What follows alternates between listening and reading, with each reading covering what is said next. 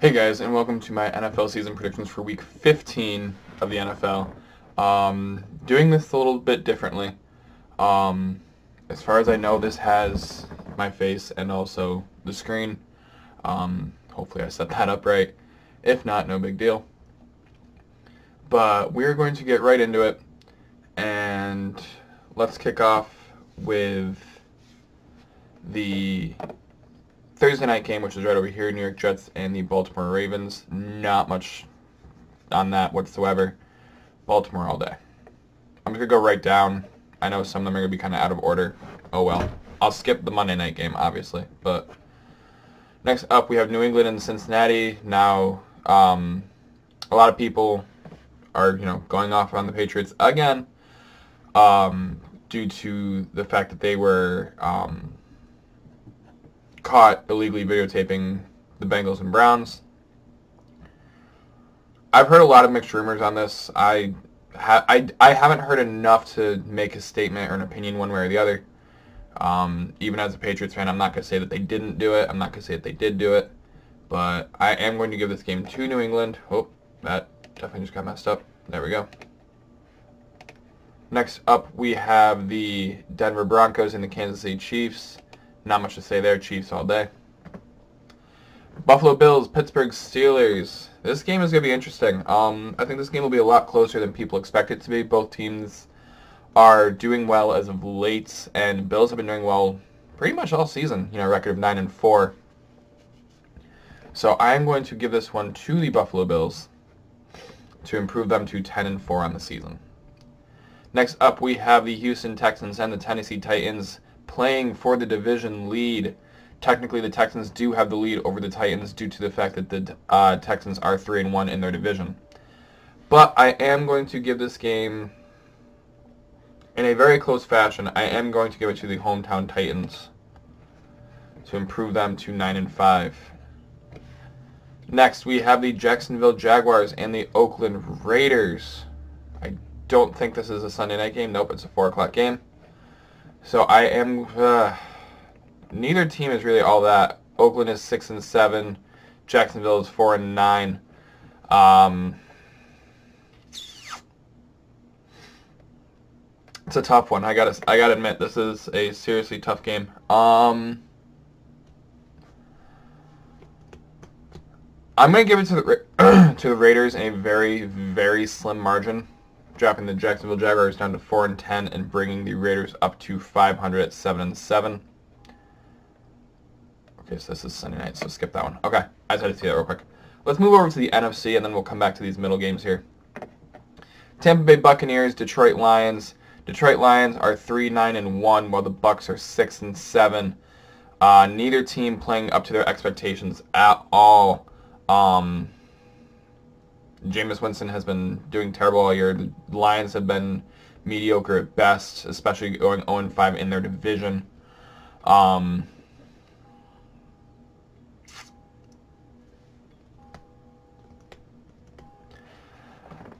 I'm going to give this one to the Lions and kind of an upset.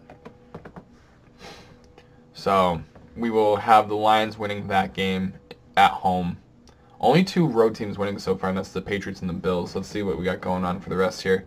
We got the 10 and 3 Green Bay Packers going up against the 7 and 6 Chicago Bears in Lambeau. The Packers are undefeated um, in their division this year. I am going to give this one to the Packers. Aaron Rodgers has been doing eh as of late, but I don't think that Khalil Mack will be able to get the job done single-handedly. And I think that Trubisky will have an okay game, but Rodgers will edge him out just ever so slightly. Next up, we have the Seattle Seahawks and the Carolina Panthers. Carolina Panthers sit at 5 and 8. Seahawks are 10 and 3. Uh, Cam Newton, not. I'm pretty sure Cam Newton's done for the year, if I'm not mistaken. Or let's put it this way: he may as well be done for the year if he's not, because he's not doing great this year. In fact, I'm almost positive he is done for the, for the year. I am going to give this one to the Seahawks. And I actually need to check up on that really super quick because I feel like he's done. Yeah, he underwent foot surgery on Monday. Alright. Philadelphia Eagles, Washington Redskins, NFC East matchup. Eagles are six and seven, tied for first place technically in their in their uh, division, while the Redskins sit down at three and ten. Uh, Eagles and Redskins. There's not much debate on this one. Eagles. Atlanta Falcons. San Francisco 49ers. The 49ers are 10, 11 and 2. And the Falcons are down at 4 and 9. Falcons have been playing kind of well as of late. I am going to give this one to the San Francisco 49ers. Project them a little bit higher now into their uh, division while dropping the Falcons down to 4 and 10. Next up, we have the LA Rams and the Dallas Cowboys, two of the better teams in the NFC. I so badly want to give this game to the Rams, especially after the way the Cowboys have played the last couple weeks.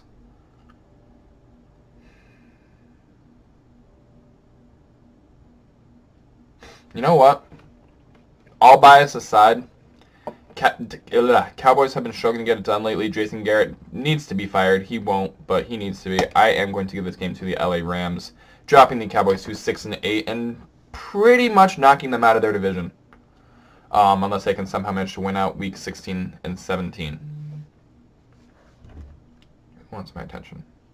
All right, going back to the AFC versus NFC, we have the Miami Dolphins, the New York Giants, two of the laughing stocks of the NFL this season. The Dolphins sit at 3 and 10, the Giants at 2 and 11. Can the Giants actually get it done with Eli Manning or Daniel Jones at the helm? Has yet to be announced who's starting this week. Or can the Dolphins get another win?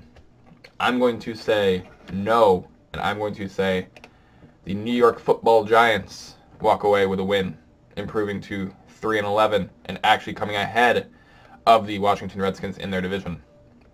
Next up, we have the Cleveland Browns sitting at six and seven, and the Arizona Cardinals sitting at uh, well less, three nine and one. Cleveland Browns are doing okay on the road this season. They are three and one in their division. I am going to give this game to the Browns. Um, Kyler Murray is okay. He's actually having a decent rookie season, um, considering what he has, or what I, sh- I should say, what he doesn't have on his team. But I am going to give this game to the Cleveland Browns, bringing them to 7 and 7, their first 500 record this late in a season in I can't even tell you how many years. Next up Sunday night, we have the Minnesota Vikings and the Los Angeles Chargers. Both teams doing fairly well this season. Uh, the Vikings currently sitting at 9 and 4, while the Chargers, way down here, sit at 5 and 8. They're doing well for the Chargers. They're not doing well, but they're doing well for the Chargers. Um, I am going to do this game without hesitation to the Minnesota Vikings and Kirk Cousins. And now, last but not least, the game that really not a whole lot of people care about, the 6 and 7 Indianapolis Colts rolling to face off against the 10 and 3 New Orleans Saints led by Drew Brees. Drew Brees will get the win, and that is your NFL season predictions for Week 15. Ravens, Patriots, Chiefs, Bills, Titans, Raiders, Giants, Browns, Vikings, Saints, Lions, Packers, Seahawks, Eagles, 49ers, and Rams. These will be the updated standings after the picks on your left and right. Check those out. And that is going to be for me. Be sure to like, comment, subscribe, share, hit that notification bell. I'll be talking to you guys later. Peace. I'm out.